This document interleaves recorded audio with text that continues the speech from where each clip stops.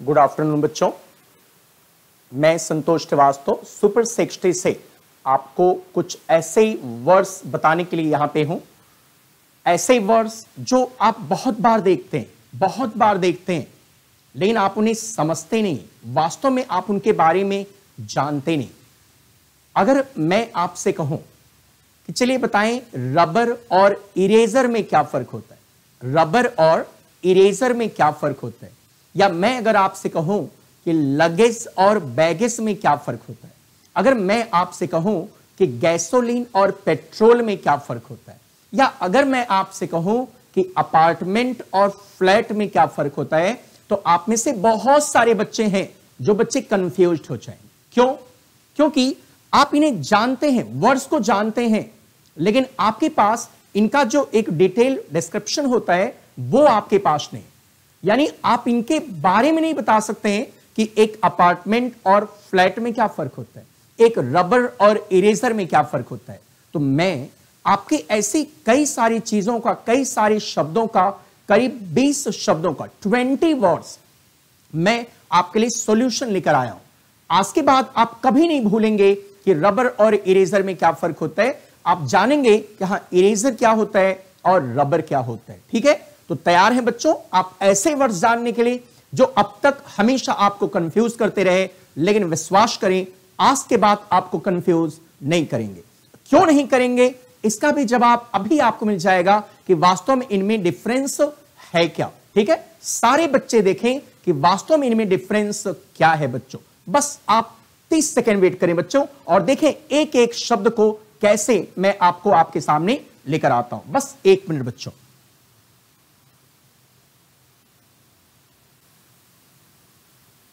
ये आपके सामने देख रहे होंगे बच्चों, एक शीट आ गई आपके सामने, एक स्लाइड आ गई, और इन स्लाइड्स के द्वारा आप हर एक शब्द को जानेंगे।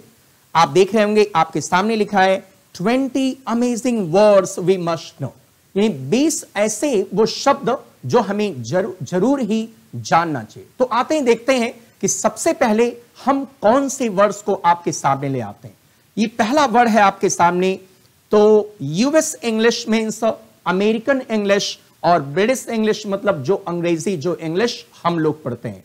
और ये आपके सामने है दो वर्ड्स गार्बेज और rubbish and this is garbage अब आप समझ गए होंगे बच्चों कि अगर गार्बेज और रबिश में आपको फ़र्क करना है तो क्या करना पड़ेगा आपको? समझ में आ रहा है ना?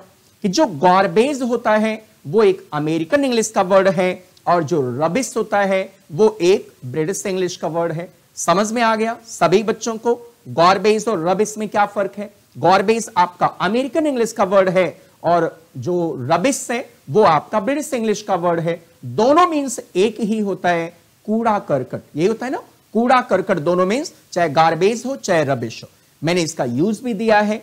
जैसे आप इसको यूज़ कर सकते हैं they forgot to put the garbage या they forgot to put the rubbish out for collection this morning यानी चाहे आप गार्बेज यूज़ करें या रबिश दोनों सही है। बस आप जाने गार्बेज अमेरिकन इंग्लिश का वर्ड है और रबिश जो है वो ब्रिटिश इंग्लिश का वर्ड है। अब आपके मन में आ रहा होगा, सर, दूसरा वर्ड क्या है? वो दूसरा वर्ड आपके सामने है, ये वर्ड बच्चों। बैगेज और लगेज कौन सा शब्द बच्चों? बैगेज और लगेज दोनों मीन्स क्या होता है? सामान होता है। दोनों मीन्स क्या होता है? सामान होता है। बैगेज मीन्स भी और लगेज मीन्स भी। बट अब तो आप समझ गए होंगे ना कि बैगेज जो है, वो अमेरिकन इंग्लिश का वर्ड है और जो लगेज है, वो आपका ब्रिटिश इंग्लिश का वर्ड है। और इसका यूज़ अगर आप करना चाहें तो सामने आपके आ गया। यू शुड बी कॉशस आपको सतर्क रहना चाहिए। Don't touch any attended baggage और don't touch any attended luggage in any public place किसी पब्लिक प्लेस पर आप इन्हें न छुए आप, क्योंकि खतरनाक हो सकता है यही ना यानी बैगेज कोई कहे तो कौन सा वर्ड है? अमेरिकन इंग्लिश का है। लगेज कोई कहे तो कौन सा वर्ड है? वो ब्रिटिश इंग्लिश का है। याद हो जाएगा बच्चों अब आपको। अब आपको याद रहेगा कि गार्बेज और रबिस में क्या फ़र्क है और बैगेज और लगेज में क्या फ़र्क है। लेकिन हमारी यात्रा यहीं पे नहीं खत्म होगी, आगे भी आपके है। देखें। इरेजर और रबर क्या है बच्चों? इरेजर और रबर। इरेजर कौन सा शब्द हो जाएगा? अमेरिकन इंग्लिश का। और रबर कौन सा वर्ड हो जाएगा? ब्रिटिश इंग्लिश का। और ये आपके सामने रहा इरेजर, है ना? या रबर भी कह सकते हैं अब आप। नहीं रबर भी कह सकते हैं और इरेजर भी कह सकते हैं। लेकिन फ़र्क भी अब आप बता सकते हैं ना कि इरेजर जो है, वो अमेरिकन इंग्लिश का वर्ड है और जो रबर है, वो आपका ब्रिटिश इंग्लिश का वर्ड है। और यूज़ भी मैंने दिया है आपको। If you draw or write in pencil यहाँ और रहेगा। If you draw or write in pencil you can always rub out your mistakes with an eraser और विद अ रबर हो जाएगा बच्चों? यानी आप उसे इरेजर या रबर से मिटा सकते हैं आप।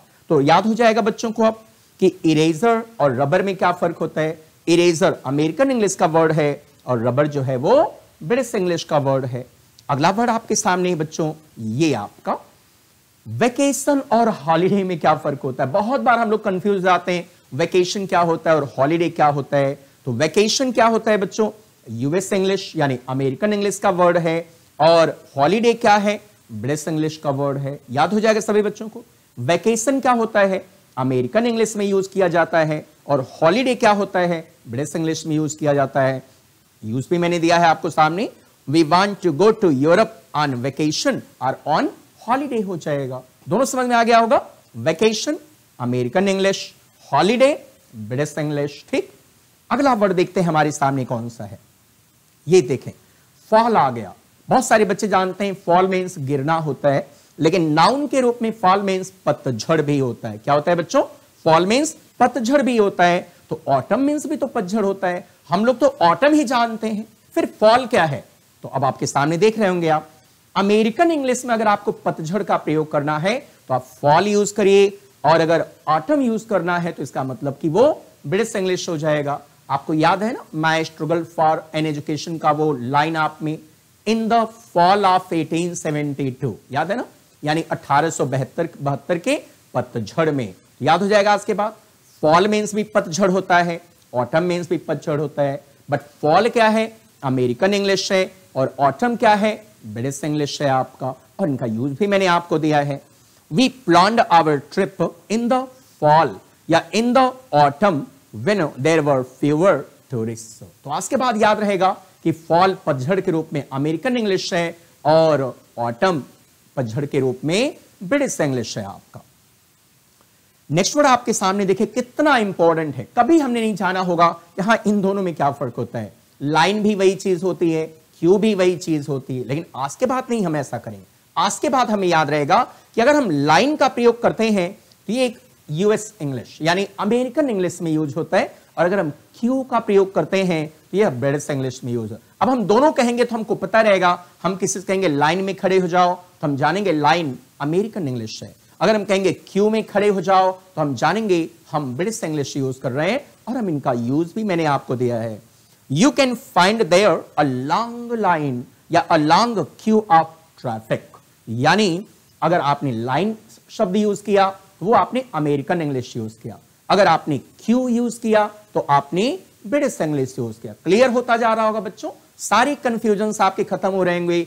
इरेजर और रबर का कंफ्यूजन आपको गार्बेज और रबिस का कंफ्यूजन आपको बैगेज और लगेज का कंफ्यूजन आपको फॉल और ऑटम का कंफ्यूजन आपको लाइन और क्यू का कंफ्यूजन लेकिन ये आपके सामने और भी वर्ड्स हैं अपार्टमेंट और फ्लैट अक्सर आप सुनते होंगे, वो फला अपार्टमेंट में रहते हैं या वो इस फ्लैट में रहते हैं। तो ये अपार्टमेंट फ्लैट अब आप जाके समझ सकते हैं कि अपार्टमेंट क्या होता है, अमेरिकन इंग्लिश का वर्ड होता है और फ्लैट क्या होता है, ब्रिटिश इंग्लिश का वर्ड होता है। कितना इजी बच्चों, कितना इजी है कि अब आप बता सकते हैं कि अपार्टमेंट हम किसमें यूज़ करते हैं? अमेरिकन इंग्लिश में और फ्लैट किसमें यूज़ करते हैं? ब्रिटिश इंग्लिश में। यूज़ भी मैंने आपको दिया है। They have a four bedroom apartment या they have a four bedroom flat in Lucknow समझ जाएँगे आप? अपार्टमेंट कौन सा वर्ड है? अमेरिकन फ्लैट कौन सा वर्ड है? ब्रिटिश बिल्कुल क्लियर होता जा रहा होगा बच्चों आपको। ये सामने आप अपार्टमेंट भी मैंने दे दिया है। ईश्वर करे कभी ऐसे रहे आप। नेक्स्ट वर्ड हमारे सामने बच्चों कुकी और बिस्किट दोनों एक ही चीज़ें होते हैं। कुकी भी वही होता है और बिस्किट बिस्किट भी वही होता है। लेकिन फ़र्क है, अब तो समझ जाएँगे आप। कुकीज हम किसमें कहते हैं?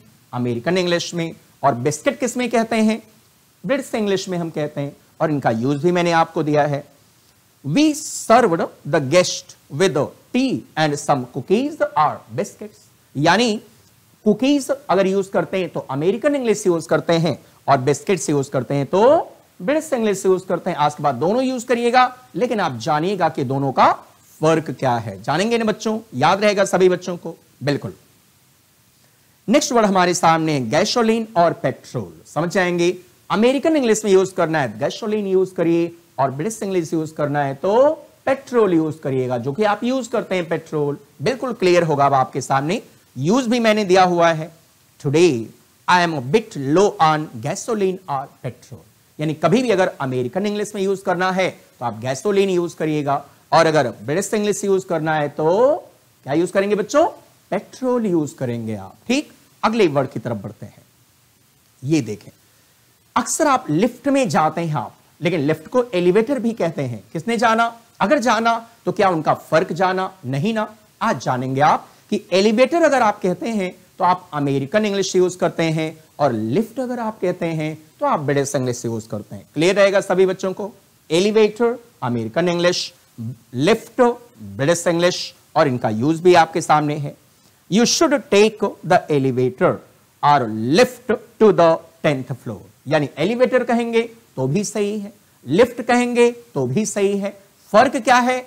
अमेरिकन इंग्लिश का और ब्रिटिश इंग्लिश का। ओके और ये आपका बता रहा है कि ये आपके 10 महीने यानी 20 वर्ड्स आपको दिए बच्चों, जो आपके सामने यहाँ पर आप देख रहे हैं। अर्थात ये वो वर्ड्स हैं बच्चों, जो वर्ड्स आपके समझ में नहीं थे। आप इनको देखे थे, आप इनको जानते भी हैं बट इनके बीच जो डिफरेंसेस थे ना, वो आप नहीं जानते। आज क्लियर हो गया होगा कि कुछ ऐसे वर्ड्स होते हैं जिन्हें हम अमेरिकन इंग्लिश में यूज़ करते हैं, और कुछ ऐसे वर्ड्स होते हैं जिन्हें हम ब्रिटिश में यूज़ करते हैं। मुझे आशा ही नहीं, विश्वास है आई बिलीव कि आपने सारे वर्ड्स क्या कर लेंगे, याद कर लिए होंगे या याद कर लेंगे आगे कि इनके बीच डिफरेंसेस क्या है। अगर आप जानेंगे हॉलीडे वैकेशन में क्या फ़र्क होता है अच्छा है बच्चों। अगर आप जानेंगे इरेजर और रबर में क्या फ़र्क है अच्छा है। अगर आप जानेंगे अपार्टमेंट और फ्लैट में क्या फ़र्क है अच्छा है। अगर आप जानेंगे लगेज और बैगेज में क्या फ़र्क है अच्छा है। अगर आप जानेंगे फॉल और ऑटम में क्या फ़र्क है अच्छा ये सारे वर्ड्स आपके काम के हैं। बस ज़रूरत है एक बार फिर से रिवाइज करने की और लोगों के साथ डिस्कशन करने की कि चलो बताओ रबर और इरेजर में क्या फ़र्क होता है। आप एक बार पूछ के देखिए, हमेशा के लिए इस हार्ड डिस्क में क्या हो जाएगा? स्टोर हो जाएगा। ठीक है बच्चों? हमेशा खुश रहें। इसी तरह मैं छोटे छोटे सेगमेंट्स में आपको बड़ी बड़ी जानकारियाँ देता रहूँगा। तब तक के लिए अलविदा good night have a nice day thank you बच्चों।